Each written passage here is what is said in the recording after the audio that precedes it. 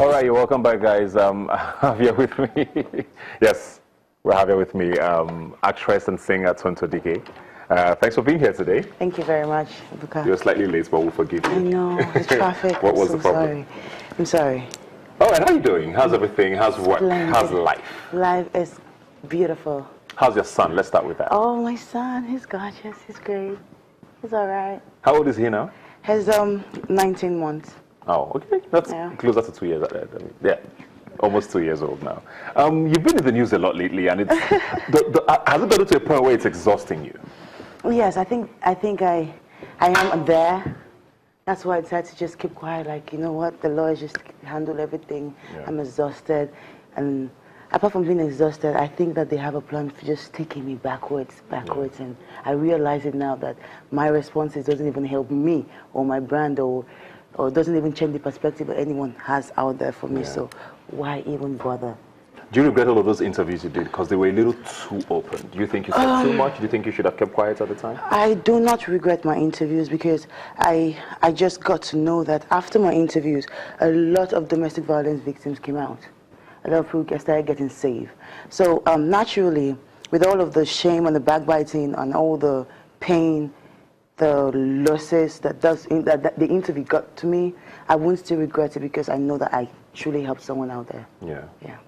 Does it worry you as well? I mean, it, you, you did an interview. I mean, we heard a lot about your marital issues with your ex-husband and, um, you know, domestic violence, cheating, whatever it was the, the stories were.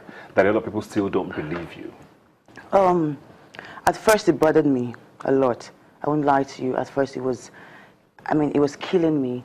But you see, I got to the point where I realized that nobody cares about me or, this, or the situation that happened in my home aside from me. Everything they're doing out there is, or I'm doing out there is just for entertainment for them. So nobody really cares about that. You see, what I went through, I went through. I'm not about to validate my pain or my past pain to anybody.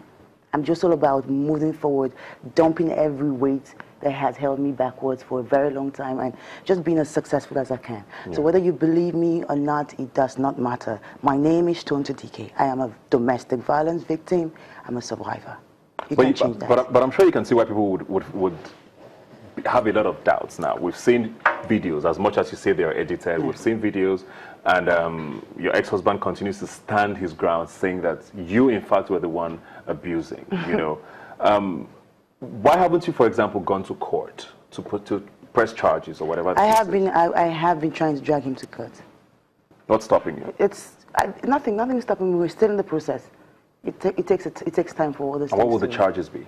Um, well, that is private. I do not intend to keep making a caricature out of my private life. So everything that happens in court stays in court. Yeah. I'm done with the public. Are you worried about your son and how all of this comes to him eventually? Because I'm sure he's going to be starting school soon, or if he's even started. He has started school actually. he has. Are you worried about you know him growing up and you know all of this being a part of his story, considering how out there it is now? um, That's still not for the public. That's for me as a mom to assimilate. Yeah. That's it. that's it. Okay. How's how's how's work? Work is fine. Work is beautiful. What is work now? Uh, well, I am, I am on a very exciting project. Um, I can't tell you what it is yet.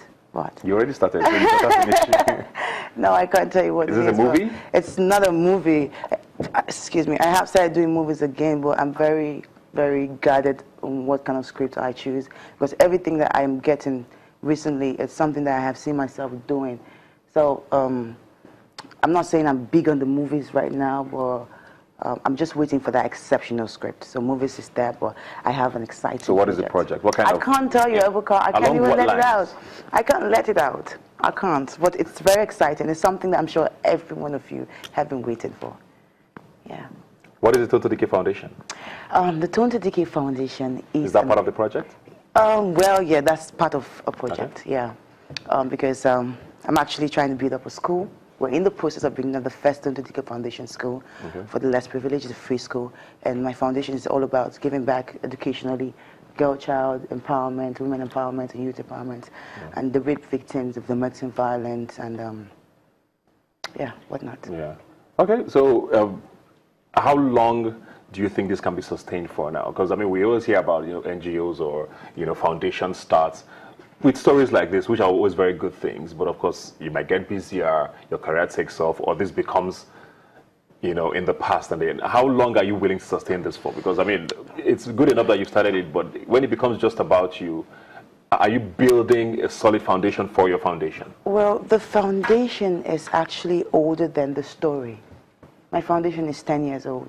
I've been doing this for 10 years. Yeah. The only thing is that I've just not been having enough publicity around it. Okay. I did not know the, the power of media then, but now I do understand the power of media, that you have to put your stuff and your work out there. Yeah. So, um, um, no, we're not here for a short-time leave. We've lived 10 years and we're about to go more. Okay. We're just getting stronger by the day. That's why you're seeing more works from us right now than you used to see before. But this has been there for 10 years. Great stuff. Good to know. We'll take a quick break now. When we come back, we'll try and conclude this conversation. We don't have enough time, unfortunately, because she was here late. Sorry. But we'll see how much more questions we can squeeze in. So please stay with us.